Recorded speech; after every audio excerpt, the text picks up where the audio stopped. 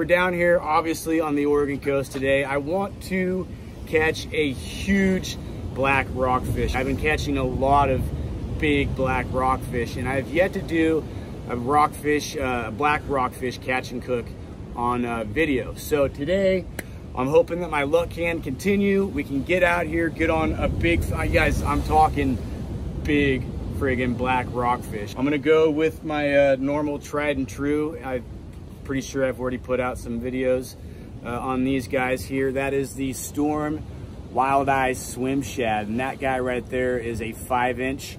It's a 5 8 ounce and that one is called the Bunker. And that little bait right there has been an absolute killer. I'm hoping we can get out here and I can show you guys how insane this thing is. Well, I've been wearing uh, gloves lately when I go out and fish because I realized that uh, those little fish will tear your hands up. Now, if you start getting into some of these, maybe four, at least, at least four pounds. I'm talking some of the fish that I've been finding right at about five pounds. And so for a black rockfish, I'd say that's pretty damn good. And you get one of those things trying to get off your hand, those things will shred you up. So just been rocking some uh, little cheap gloves that help out a lot. All right, so you guys know the bait that I'm using, but lately I've been using a, uh, this 12 foot Okuma Rockaway rod and I've got that with uh, an Okuma C55, 50 pound braid coming down to, right now I've got some 25 pound fluorocarbon on there. Uh, as I mentioned a few times before in other videos, I usually swap between 25 and 30. really just kind of depends where I'm at. Everything obviously is gonna kind of depend on the conditions and just the type of area that I'm fishing in and how rocky it's gonna be.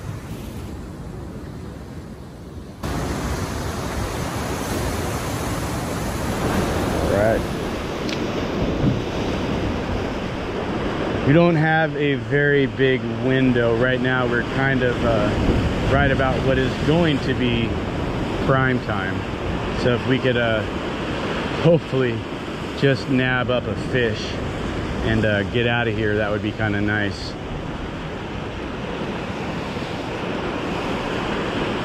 So I don't know if I put it out, video out already, but I was talking about how I, uh, you know, basically swim these baits and the action that I put on them. And it's never totally consistent. I like doing swims with little pops, uh, just a huge crank on the reel, like the fish just kind of took off because it got spooked. And uh, really, I'm waiting for that tap in my line. I put a lot of emphasis on a, uh, paying attention for that tap in your line because you're going to get that tap in your line before your line goes tight, before your rod tip bends, any of that. And if you're paying attention, you can uh, make the whole experience a little bit easier and get that fish on as soon as it starts messing with your, uh, your gear.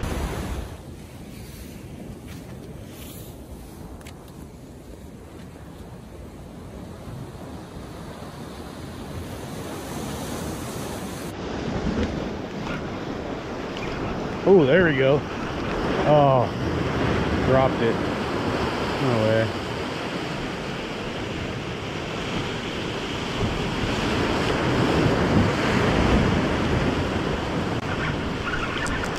There we go, guys. There we go. Oh, that feels like a good one the water's... Oh, there's a surge, though. Let's get this guy. Let's get him! Yeah, that's a tank. That is a tank. Oh my God. Ow. Have I not broke this rod yet? Oh my God. You guys. Oh my God. There. I'm telling you, this is why I absolutely love that bunker. I can swap up so many different baits the bunker is the game changer. Look at that friggin' fish.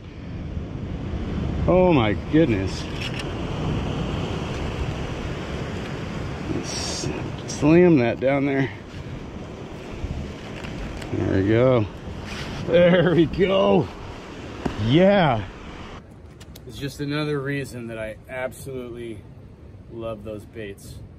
I mean, that is just an absolute toad. I don't know if it's because they look so lifelike or what it is, but I mean, a majority of those fish that I've been catching with these baits are just ginormous fish. So I'm, I'm pretty happy with that. I mean, that's I don't know anybody who would complain with a nice black rockfish like that. All right. Well, so I'm getting back to the vehicle here, and I was anxious to get back because I really wanted to uh, finally get an official uh, weight on one of these fish. I haven't had a chance to do it. I've had a lot of bad luck recently with uh, my scales. I got two of them. One of them just didn't want to work. The second one I thought needed batteries, and so I picked up some new batteries, and uh, the thing still didn't work. And so I went to Walmart and picked up this little uh, scale. It's a Ozark Trail. It's uh, rather cheap. Uh, brought some batteries with me, and so I get back to the vehicle, anxious, as I said, to get this fish weighed. Come to find out that the friggin' thing takes AAA batteries, so I don't even have the right batteries to get this fish weighed. So again, the bad luck with my scales continues. But what I can do, uh, well, starters, I'm gonna, it's not the biggest one that I've caught yet. And if I were to have to put a, a, a guesstimate to it. I'm gonna say it's about a four and a half pound fish. Uh, I was assuming that the last one that I caught that was really big uh, was it was 22 inches and I was guesstimating that it was right about five pounds. So what I can do at least is get a measurement on this fish. On top of my scale or on top of my cooler here, uh, I've got a measuring thing, but I've also got, you know, kind of my official, what I use every time while I'm out. Uh, just doing a quick little look right here I can see that we're pretty much uh, 20 and a quarter 20 and a half something about that and so I want to get this thing legit measured so I think what I'm going to do is I'm trying to figure out exactly where his mouth stops at here and I want to push this gill plate down so that doesn't give us any extra length here so we're coming down we're at 16 right there coming down tail so I'm not just pulling straight, I'm trying to keep it flush against the fish. So right there we've got 21 and you can see we've got 21 on the uh, the cooler right there. So I mean I'm guessing I'm you know we're pretty much on on par. So a 21 a 21 inch uh, black rockfish uh, is definitely nothing uh, to complain about. I'm really excited to uh, find such a nice fish. So let's get this thing filleted up and uh, get this baby uh, in the old cast iron skillet.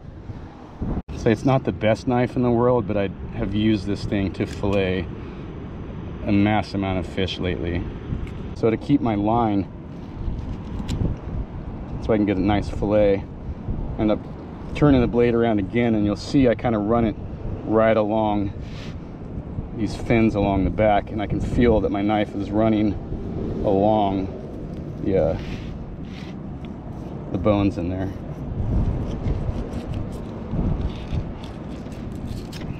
Right. Being a lefty makes things uh, kind of weird sometimes. That was definitely not my uh, perfect fillet job, but again, using this little cheap, probably dull now, got a broken tip, and this fillet knife. Still, this fillet is going to be a bit too big for my cast iron, even though it's a fairly decent size uh, cast iron. So I'm just gonna pick a section and uh, cut, and then we'll just uh, go from there. Probably my least favorite thing of trying to do these catch and cooks down here at the coast is having to find uh, a spot where I can get out of the wind. I'm gonna be, my girlfriend just picked me up this bottle of uh, this Meyer lemon infused olive oil. It ran out a long time ago, so I'm actually really excited to have some of that. This is to be a killer mix with some soy sauce, some ginger powder, and uh, some green onions. These utensils I'm using are GSI Outdoors. I picked them up at uh, Sportsman's, but it's that Halulite or whatever. So it's got your knife, your fork, and your spoon on there. It's basically stainless. So it's my first time using these out here. So we'll see how those uh, those work out. Oh, that's way too much. Oh, the smell of this stuff. It was such a pain in the butt to find some of that. If any of you guys have uh, never tried that before, I, I, highly recommend it, especially when it comes to uh, cooking fish and stuff like this. a little bit of soy sauce. Soy sauce goes a long way. Add some of that ginger powder. It's kind of breezy out here, so I don't know how well this is going to work out. Oh, it's just starting to fall apart in there. That's awesome. Sticking.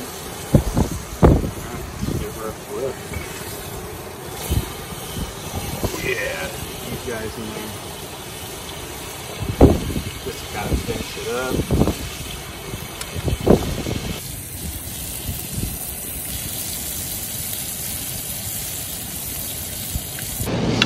All right, I think that is about done. Check out a piece of this. Whew, hot. Oh. Hot but delicious. Did I even bring a plate? Holy crap. All right. I actually think I took my plate out.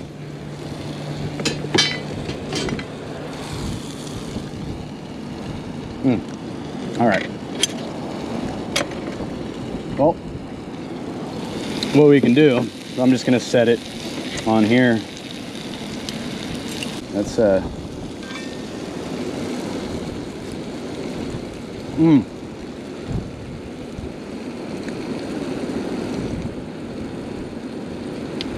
You can really pick up the um, the ginger in there. If you guys don't like ginger at all, then definitely do not put it in there but it's actually a, uh, a really nice mix on top of the uh, soy sauce they really kind of complement each other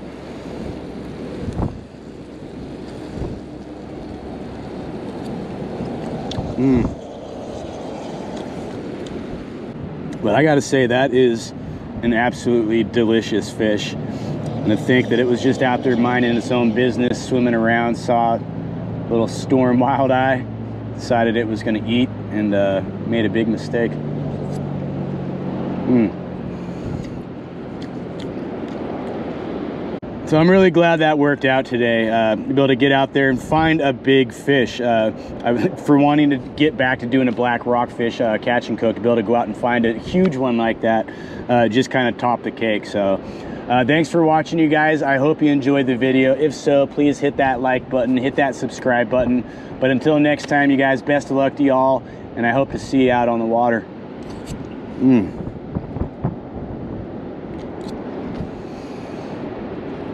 Cha-ching. Mmm.